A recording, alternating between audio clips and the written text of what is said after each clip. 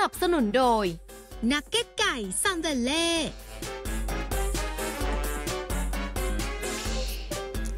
สวัสดีครับ ข่าวนอกลู่มาแล้ว วันนี้เริ่มที่จังหวัดตรัง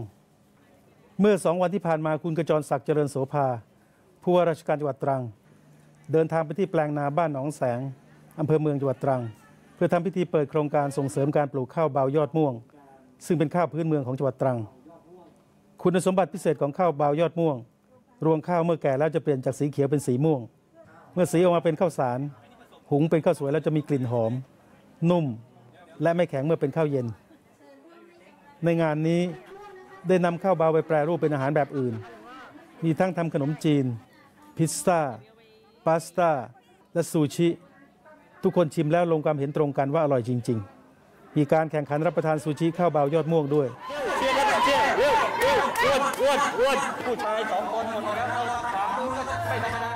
ส่วนกิจกรรมที่แปลงนา ก่อนทำการปักดำมีกิจกรรมสนุกสนุกเกี่ยวกับต้นกล้าข้าวเบายอดม่วงด้วย เริ่มจากท่านผู้ว่าขับรถไถบรรทุกต้นกล้ามายังผืนนา และมีการแข่งขันวิ่งผลัดหาบต้นกล้า สนุกสนานตื่นเต้นมาก ดูครับ ทุกคนต้องการความเร็ว แต่ผืนนามีทั้งน้ำทั้งโคลนไม่ง่ายครับ ส่งท้ายด้วยการแข่งขันจับกบและปลาไหลในท้องนา เป็นการแข่งขันแบบไม่จำกัดเพศจำกัดวัย งานนี้เด็กสู้ผู้ใหญ่ไม่ได้ สู้ไม่ได้จริง ๆครับ ทั้งความสามารถและกลยุทธ์ ดูครับ เก็บกบไว้ในอก เด็กๆทำไม่ได้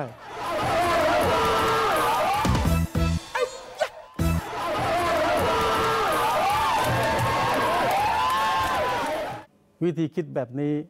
ได้มาด้วยการเวลานอกลู่ต่อมาไปเชียงใหม่ครับ ร้านตีน้อยโอชา เป็นร้านอาหารริมถนนเชียงใหม่เชียงราย เยื้องโรงพยาบาลดอยสะเก็ดอำเภอดอยสะเก็ดจังหวัดเชียงใหม่ มีเมนูดังมาก คือบะหมี่พญาเทครัว เสิร์ฟกันเป็นถาดแบบนี้ครับหนึ่งถาดมีทั้งบะหมี่หมูแดง ขาหมู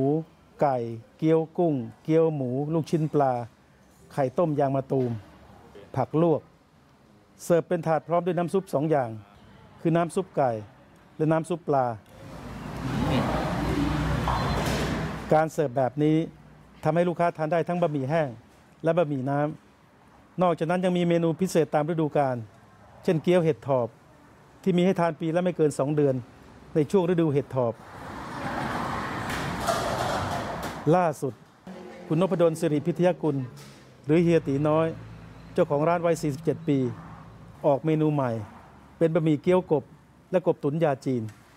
เกี๊ยวกบใช้เนื้อกบล้วนๆ กบ 4 กิโล จะได้เนื้อกบแค่กิโลเดียวนำเนื้อกบไปปรุงรส หลังจากนั้น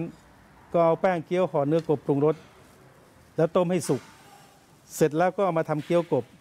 ราคาชามธรรมดา 80 บาท พิเศษ 120 บาท ส่วนกบตุ๋นยาจีนใช้ส่วนน่องมาปรุงรส และตุนเครื่องยาจีน ขายชามละ 49 บาท หนังกบ ลอกมาทั้งตัวทอดกรอบ ขายดีเหมือนกัน ฟังเสียงเฮียตีน้อยครับเกี๊ยวกบเนี่ย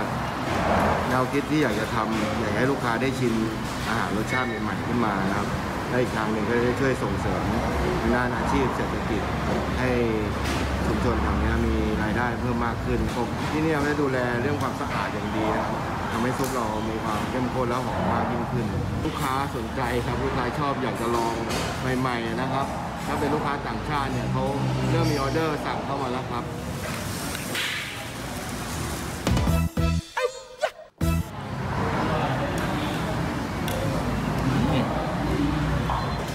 เกี๊ยวกบ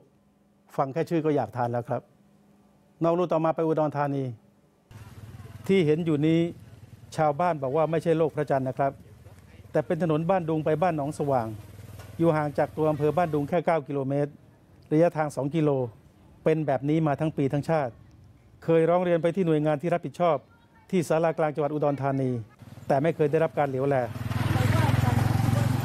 วันนี้ชาวบ้านในเขตอบตบ้านม่วงอำเภอบ้านดุงจังหวัดอุดรธานี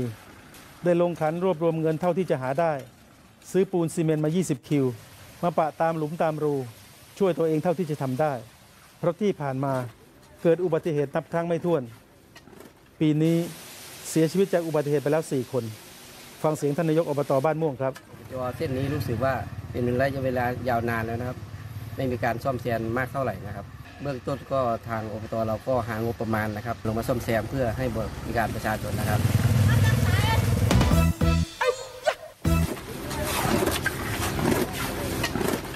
หน่วยงานที่รับผิดชอบช่วยด้วยช่วยทีนอกลู่ส่งท้ายไปสิงห์บุรี ที่โรงพยาบาลสิงห์บุรีผู้ว่าราชการจังหวัดสิงห์บุรี คุณชัยชาญสิทธิวิรัตธรรม พร้อมด้วยภริยาในฐานะนายกเหล่ากาชาติ เดินทางมาตรวจเยี่ยมพร้อมให้กำลังใจ และมอบแว่นตากันแดด ให้ผู้ป่วยที่อยู่ในโครงการผ่าตัดต้อกระจก เมื่อเดินทางมาถึงโรงพยาบาล ทั้งท่านผู้ว่าและภริยา เข้ารับการตรวจสายตาจากเจ้าหน้าที่ไฟจุดแดงไว้นะคะ ไฟไว้เลย เสร็จแล้วก็กล่าวเปิดงานอย่างเป็นทางการ หลังจากกล่าวเปิดงานเสร็จ ท่านผู้ว่าก็เดินทักทายพูดคุยกับผู้ป่วยที่มารับการผ่าตัด จังหวะหนึ่ง เดินมาถึงผู้ป่วยท่านนี้ เปิดผ้าปิดตา แล้วท่านผู้ว่าก็ถามว่าเห็นชัดไหม คุณลุงตอบว่าไม่ชัดครับ ยังมัวอยู่ ยังไม่ได้ผ่าตัด ได้คิววันนี้ แต่พยาบาลให้มานั่งรอตรงนี้ก่อน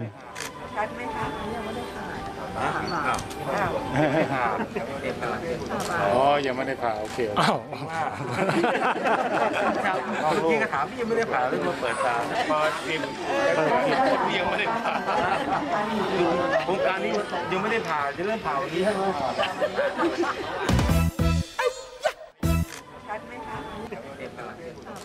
ยังไม่ได้ผ่าโอเคอ้าว